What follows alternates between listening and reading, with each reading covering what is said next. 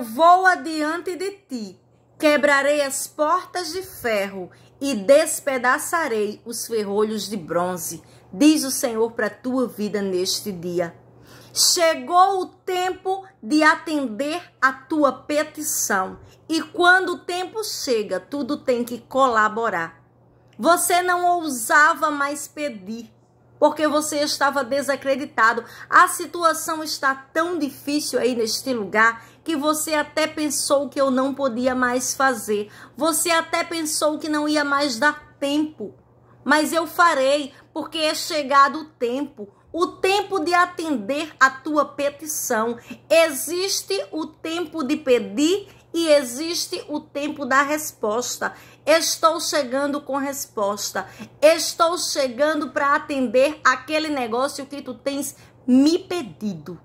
Aguarda e veja o meu mover, porque eu vou chegar em tua vida rapidamente para atender este negócio que tu tens me pedido. É resposta de Deus para tua vida neste dia.